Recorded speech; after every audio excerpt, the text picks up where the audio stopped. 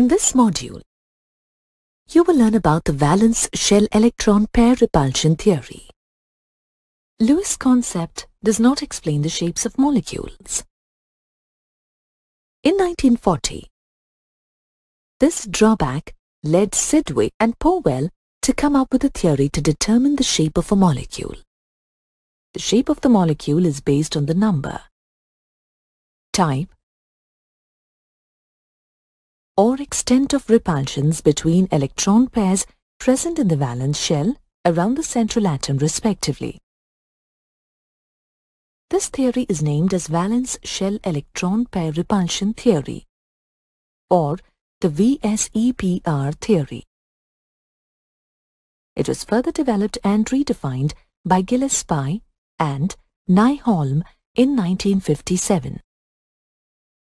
The valence electron pairs surrounding the central atom in a molecule mutually repel with each other. Thus, these electron pairs surrounding the central atom arrange themselves in space in such a way to minimize the repulsions, giving the molecule a definite geometry. The molecules in which the central atom is surrounded with only bond pairs, then it is said to possess definite geometry, as in case of BF3. As the electron pair is a negatively charged cloud, the bonded atoms move apart to minimize repulsions between the electron pairs. To minimize the repulsion, the distance between the atoms has to be maximum.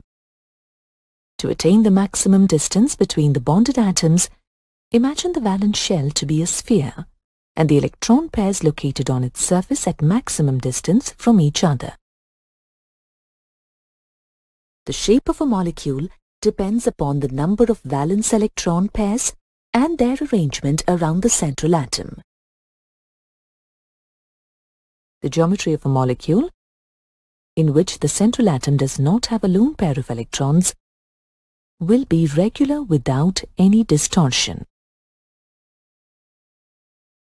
For example, the shape of a molecule with two bonded electron pairs around the central atom will be linear, with a bond angle of 180 degrees. The shape of a molecule with three bonded electron pairs around the central atom will be trigonal planar with a bond angle of 120 degrees and so on. In a methane molecule, four hydrogen atoms are bonded to one central carbon atom. Since the electron pairs have the same charge, they repel each other and try to stay as far away from each other as possible. As a result, all the four hydrogen atoms arrange at four corners of a tetrahedron, lying at equal distances away from each other. Hence, methane has tetrahedral shape. In the methane tetrahedron, the bond angle is 109 degrees 28 minutes. However, the geometry of the molecules gets distorted due to the presence of lone pair of electrons. Unlike bonded pairs that are shared between two atoms, the lone pairs of electrons are localized on the central atom. Due to this, they occupy more space which results in greater repulsion. Thus, the geometry of the molecules with lone pair of electrons differ from the expected or regular geometry of the molecules having only bond pairs. In a molecule, the repulsion between lone pairs of electrons is always maximum.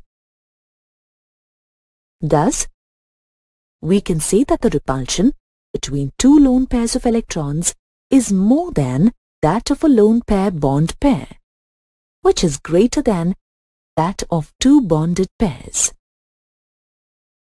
Assume a multiple bond to be a single electron pair. Therefore, the presence of multiple bonds will not affect the shape of a molecule.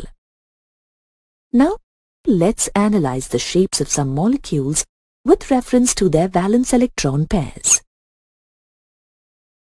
In ammonia, the central nitrogen atom has three bond pairs of electrons and one lone pair of electrons.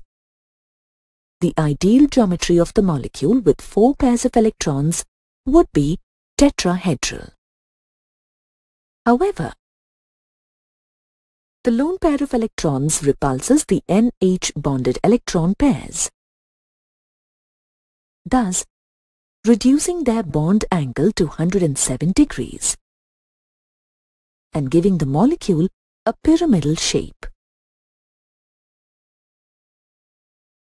In a water molecule, the central oxygen atom has four bonded pair of electrons and two lone pair of electrons. We have seen that repulsion between lone pair, lone pair and lone pair bond pair is more than bond pair bond pair. Thus, the two lone pairs on central oxygen atom makes the molecule to distort from its regular geometry, to bend or V-shape, making a bond angle of 104.5 degrees. A sulfur tetrafluoride molecule is seesaw-shaped as its bond angles are at an angle of 101 and 173 degrees. Due to the lone pair of electrons present on its central atom. The chlorine trifluoride molecule is T-shaped and its bond angle is 87 degrees and 40 minutes and the molecule shape is distorted due to the two lone pair of electrons on central chlorine atom.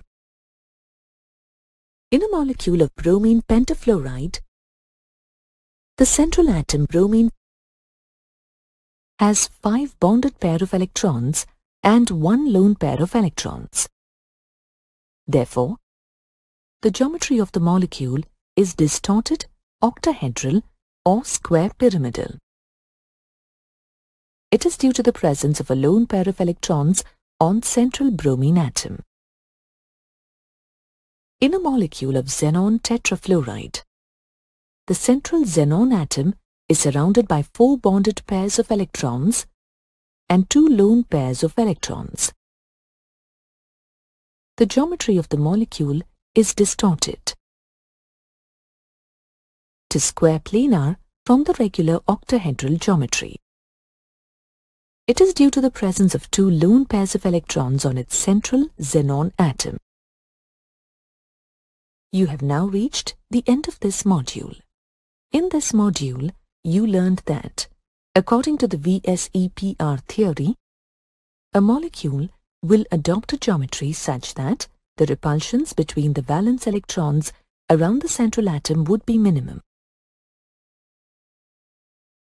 The geometry of the molecule gets distorted due to the presence of lone pair of electrons around the central atom in a molecule. On the central atom of a molecule, the repulsion between two lone pairs of electrons is the greatest.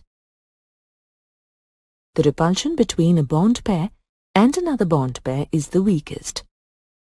And that between a lone pair and a bond pair is between these two. Thus, lone pair-lone pair repulsions are greater than lone pair-bond pair repulsions, which are in turn greater than bond pair-bond pair repulsions.